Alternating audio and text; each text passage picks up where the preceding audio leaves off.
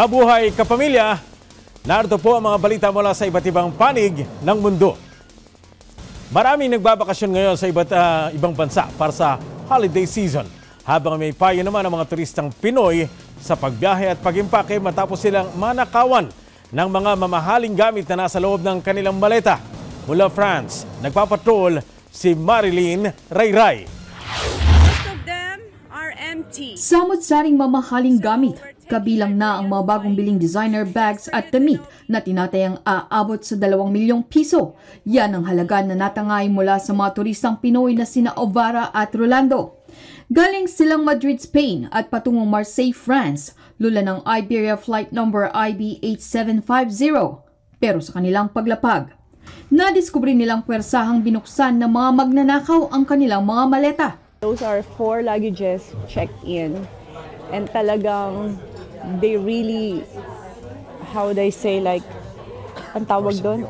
Forcibly opened the lock. And it was already unzipped. And then while taking our luggages in the conveyor, talagang ang daan na niya talaga. So 90% it was been, you know, taken off. Lahat ng gamit namin. So that includes yung mga shinapping namin, Tingin nila sa Madrid airport pa lang nilimas na ang kanilang mga gamit. 101% na hindi talaga nangyari yun sa Marseille. It was in Madrid airport. May naiwan pang ebidensya mga kawatan, isang pares ng communication device sa suitcases nila. The thieves left evidence, which is the two uh, walkie-talkie inside our suitcases. According to the um, the police and the staff from Marseille airport, they said we're not using this kind of radios. Bukod sa paghain ng reklamo sa Marseille Police, nakipag-ugnayan din sila sa Embahada ng Spain sa Manila at sa mga otoridad sa Madrid para sa agarang investigasyon.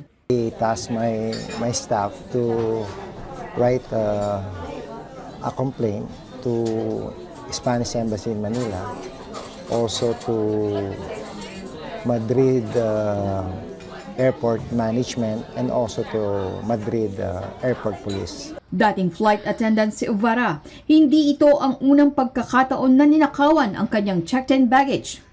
Anya, hindi naligtas ang mga mamahaling brand ng suitcase sa mga magnanakaw. Payo niya sa kapwa turista. It's only material things pero sentimental sa amin yung mga gamit na yon at saka ang nakakasama ng loob yung nag-check-in ka. 'Di ba normally when you check in parang oh it's the end of your hassle and stress-free ka na rin. So I suspect it's the baggage handler. At the same time, they have people or watcher outside na nagpo-profile na sa inyo. Very vigilant. In every airport that where will you be, then I would advise, which is somebody told me that mas safer pa rin talaga i-wrap nyo yung bag nyo, yung, yung plastic wrap. Sinubukang kunin ng Europe Bureau ang panig ng Iberia sa email at chat, pero wala silang sagot. Tinawagan din ng news team ang Iberia. Pero ayon sa nakasagot, maghintay ng isang linggo para sa anumang impormasyon. Nakipag-ugnayan naman ang news team sa Marseille Airport Police. Pero hanggang ngayon, wala pa ring sagot ang mga otoridad. Para sa TFC News, Marilyn Rayray, ABS-CBN News, Paris, France. Binigyang pagkilala sa New York ang mga naging kontribusyon ni Philippine Consul General Elmer Cato, partikular na sa anti-Asian hate crimes. Nagpapatrol, Don Tagala. Ilang araw bago tumulak si Philippine Consul General Elmer Cato sa kanyang bagong post sa Milan, Italy, nabigyan siya ng parangal ni New York City Mayor Eric Adams sa pagtatapos ng tour of duty niya sa Big Apple. I applaud your achievements and your work to fortify the ties between our nations and address important issues that impact people in the five boroughs and beyond, including New York City's effort to come back stronger from the pandemic and combat the rise in anti-Asian bias fueled by COVID-19 misinformation. On behalf of the City of New York, I offer you my best wishes for joyous holiday season and continued success as you take on your next posting in Milan. Sincerely, Eric Adams, Mayor. Binigyang pugay naman ni Kato ang mayor ng New York City sa pamamagitan ng isang Certificate of Recognition.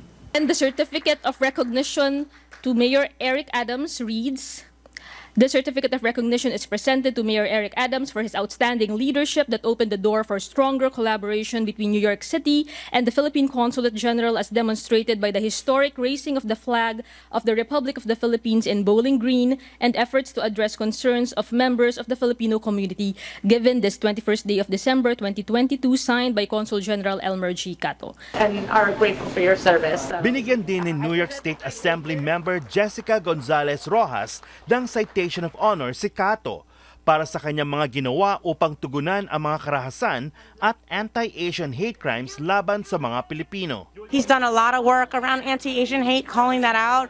He's made sure to um, make sure that people at the front lines, many of our Filipino uh, health workers, were being cared for.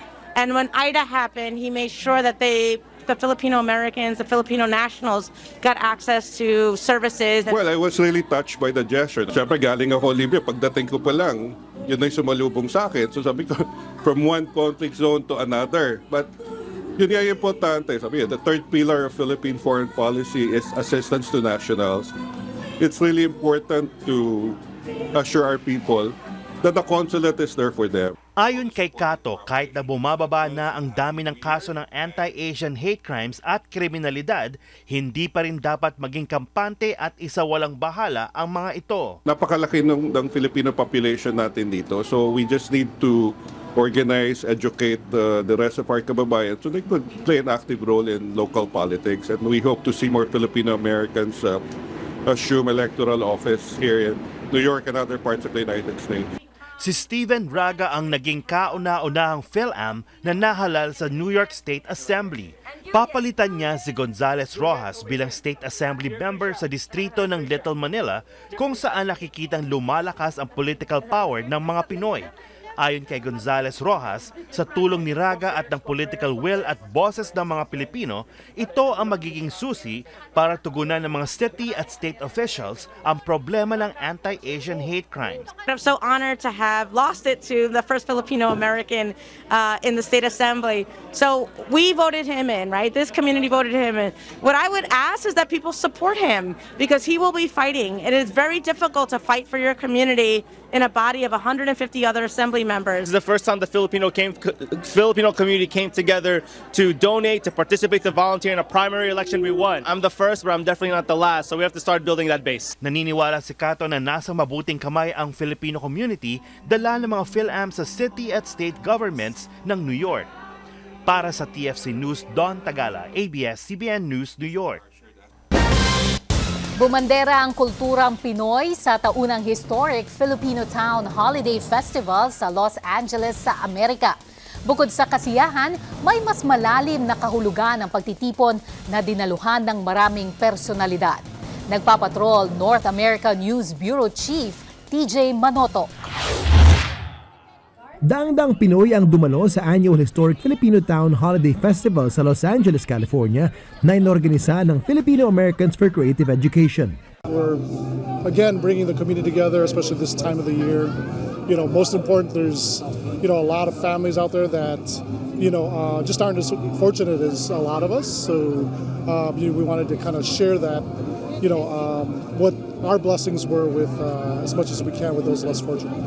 Star-studded ang okasyon na dinaluhan ng mga bida sa Easter Sunday na sina Eugene Cordero at Rodney To at iba pang artista tulad nila Jules Aurora, Alex Wasabi, Patrick Starr at Josh De La Cruz ng Blues Clues. Nagmistulang Santa's helper sa mga stars na namigay pa ng mga Christmas goodies. I'm just so honored to be here um, because there are so many uh, of my peers here, and it's crazy to call them peers because they're people that I look up to um, that are doing amazing work uh, within the community and out in the entertainment industry and beyond. And so to be able to be here and get to share the space and give back to the community, a community um, that built up the infrastructure so that and, and the visibility so that I could be here where I am today is I just am so honored and I'm so excited to, to do it. It's so cool to kind of see everyone come together as a community. Maliban sa kasiyahan, umaasang organizers na magkakaroon pa ng mas malalim na mensahe ang event. Obviously, as part of our mission, you know, um, making sure there's more representation in mainstream media, you know, we felt that it was important to also engage with some of our, you know, very talented Filipinos within our community and help them engage with, you know, and bridge that gap between uh, actual self-service and community service, right? So having them come here and actually um, being able to be present and in the moment, you know, with the community. Nag-surprise appearance pa ang bida ng Marvel superhero movie na Shang-Chi na si Simu Liu. And it's looking at me and saying, please pick me. First of all, Shang-Chi is there, you know, so I mean that's that's already a, you know that's, that's awesome, really exciting, you know, and then it's a lot of toys for the kids, so it's really fun. My, my daughter's really happy, so I, I'm happy. Dumalo din ang bagong city controller ng Los Angeles, ang Philam na si Kenneth Mejia, na hangaring mapanatiling konektado sa Pinoy community. For us, it's just making sure we can provide a lot of financial transparency and accountability on City Hall, which is what the, our job is. So I'm very excited to work with the community here and sort of finding out what the community wants us to look into. Mula sa mga inspiring star appearances hanggang sa mga laruan at libreng entertainment, umaasa mga organizers na tuloy-tuloy pa rin sa mga susunod na taon ang pagkalat ng Christmas cheer. Para sa TFC News, TJ Manotok, ABS-CBN News. At yan ang ating mga balita mula sa iba't ibang bansa, hatid ng TFC News para sa mga balita. Mula sa ibang panig ng mundo, mag-log on sa news.abs-cbn.com slash TFC News. Maraming salamat, kapamilya.